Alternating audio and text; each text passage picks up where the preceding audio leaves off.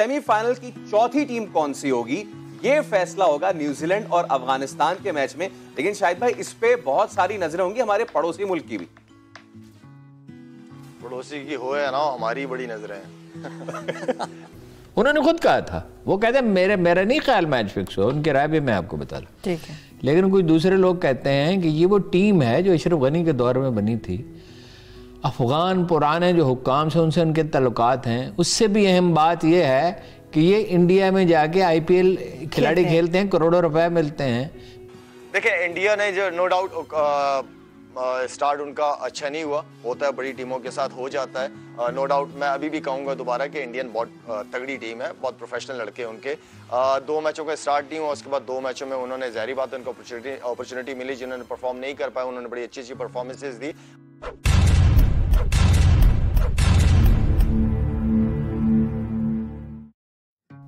नमस्कार दोस्तों, आप देख रहे हैं सुपर पावर इंडिया न्यूज़। दोस्तों, आज के इस वीडियो में हम देखेंगे पाकिस्तान मीडिया की लेटेस्ट डिबेट। तो चलिए दोस्तों, शुरू करते हैं। लेकिन उससे पहले, यदि अभी तक आपने हमारे चैनल को सब्सक्राइब नहीं किया है तो सब्सक्राइब कीजिए और बेल आइकन को क्लिक कीजिए ताकि ऐसे ही लेटेस्ट वीडियो आपको मिलते रहें। तो चलिए दोस्तों, शुरू करते हैं। जितने पाकिस्तानियों से उन्होंने बात की ना वो कहते हैं कि हम तो चाहते हैं कि पाकिस्तान और इंडिया का फाइनल हो। एग्जैक्टली हम भी हम भी यही चाह रहे हैं। हर बंदा जिससे मिलो कहता है यार इंडिया नाल फाइनल होए ना ते मज़ा आ जाए। मज़ा आ जाए। रोड पे भी किसी से पूछ रहे हैं यार किसको सपोर्ट कर रहे हैं? वो देखना इंडिया पाकिस्तान चाहता लेकिन आपको ये चीज़ ना दूसरी साइड पे भारत की साइड पे नज़र नहीं आती। आपको याद होगा 2019 का वर्ल्ड कप में अ, हमारे हम रन रेट पर आउट हुए थे। तो रन रेट में हमारे ग्रुप में ऐसी सिचुएशन थी कि पहली मरतबा था कि हम सब इंडिया के लिए दुआ कर रहे थे कि इंडिया इंग्लैंड से जीत जाए, क्योंकि बड़ी अच्छी उनकी ओवरऑल परफॉर्मेंस रही थी, लेकिन उस मैच के अंदर इंडिया हार गया था। और ऐसे हारा था कि हर बंदा जो उनके अपने क्रिकेटर्स थे, अपने जो उनके कमेंटेटर्स थे, वो कह रहे थे कि समझ नहीं आई, ऐसा लग रहा था इंटेंट नहीं है इंडिया का जीतने का। ठीक है तो उनकी ये कोशिश होती है पाकिस्तान को जितना जल्दी हो सके ना आप टूर्नामेंट से बाहर कर दें। ठीक है और बाकी टीमों के साथ आप खेलते रहे। हमारी तरफ़ से है कि हम खेलना चाहते हैं।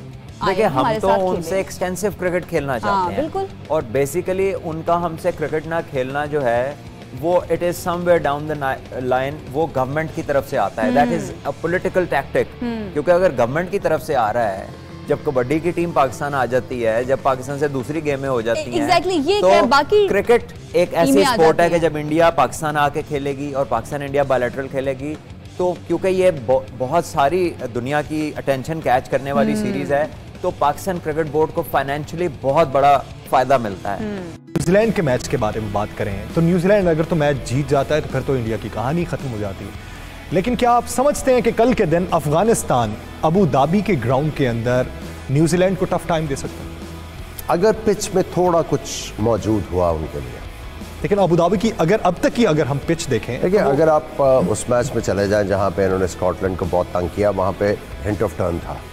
वहाँ पे गेंद हल्का सा हुआ गेंद फंसा विकेट के ऊपर। अगर उस तरह की पिच होती है तो डेफिनेटली देखिए अफ़गानिस्तान की टीम में जान है वो प्रॉब्लम क्रिएट कर सकते हैं। अब देखना यह है कि वो कितने डिसिप्लिन के साथ कल क्रिकेट खेलते हैं क्योंकि एक चीज़ याद रखिए जहाँ पे हम इंडिया की भी बात कर रहे हैं कि सेमीफाइनल का उनका चांस है कि अगर अफ़गानिस्तान जीतेगा। अफ़गानिस्तान अगर तगड़े तरीके से जीत जाता तो उनका भी तो चांस है। फिर इंडिया को बहुत ज़्यादा मेहनत करनी पड़ेगी to beat Namibia with a big margin मेरा ख्याल के साथ match. With a big margin बहुत सारी बातें तो क्रिकेट मैचेस के ऊपर भी हो रही हैं अफ़गानिस्तान और इंडिया क्रिकेट मैच मैच के बारे में बाद लोग ये कहते हैं वैसे मेरी बात हुई अपने अमर सुहेल साहब से उनकी राय मुख्तलिफ़ है वो भी मैं आपको बता देता हूँ। उन्होंने खुद कहा था। वो कहते हैं मेरे मेरा नहीं ख्याल मैच फिक्स हो उनकी राय भी मैं आपको बता रहा ठीक है। लेकिन कुछ दूसरे लोग कहते हैं कि ये वो टीम है जो अशरफ गनी के दौर में बनी थी। अफगान पुराने जो हुक्काम से उनसे उनके तल्लुकात हैं उससे भी अहम बात यह है कि ये इंडिया में जाके आईपीएल खिलाड़ी खेलते हैं करोड़ों रुपए मिलते हैं। फिर ये इंडिया की ज़रूरत बड़ी शदीद थी। फिर आईसीसी की ज़रूरत है क्योंकि पैसा आता है इंडिया के मैच से। जब खास तौर पर पाकिस्तान इंडिया का मैच हो तो बत्तीस करोड़ रुपए। वैसे इंडिया में मतलब ये कि तादाद सबसे ज़्यादा है इंडियन सबसे ज़्यादा फाइनेंस का आई आई को हिस्सा मिलता है ना। फिर वो कहते हैं कि फील्डिंग बच्चों की तरह की। फिर वो कहते हैं जो सबसे अच्छा बॉलर है उसको कह दिया जख्मी है उसको खेलने नहीं दिया उसका सबूत कोई नहीं कुछ है ऑडियोज भी तो आई अच्छा। साहब कुछ शॉर्ट्स भी आए हैं। अच्छा को बचगाना तरीके से की और जितने रन उन्हें दरकार थे उतने ही दिए। उन्हें तिरसठ की बर्तरी दरकार थी उन्होंने छियासठ दिए। कैच छोड़े। लिहाजा ये अभी पता चलेगा। अब फैसला तो कल होगा। बड़ा इंपॉर्टेंट मैच फैसले ज़मीन पे होते हैं कुछ आसमानों पे होते हैं। फैसले असल असल में तो आसमानों पे आसमानों होते पे होते हैं बेशक। अब अगर न्यूजीलैंड जीत गया तो फिर? सेमीफाइनल की चौथी टीम कौन सी होगी? ये फैसला होगा न्यूजीलैंड और अफ़गानिस्तान के मैच में। लेकिन शायद भाई इस पे बहुत सारी नज़रें होंगी हमारे पड़ोसी मुल्क की भी। पड़ोसी की हो या ना हमारी बड़ी नज़रें हैं।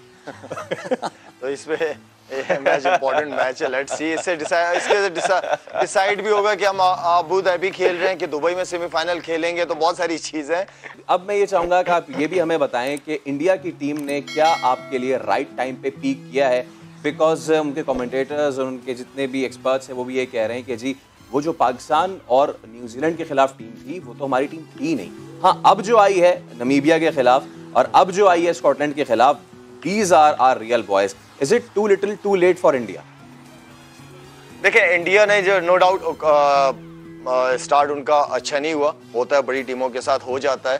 नो uh, डाउट no मैं अभी भी कहूँगा दोबारा कि इंडियन बहुत अ, तगड़ी टीम है बहुत प्रोफेशनल लड़के हैं उनके। अ, दो मैचों का स्टार्ट नहीं हुआ उसके बाद दो मैचों में उन्होंने जहरी बात उनको अपॉर्चुनिटी अपॉर्चुनिटी मिली जिन्होंने परफॉर्म नहीं कर पाए उन्होंने बड़ी अच्छी अच्छी परफॉर्मेंसेज दी।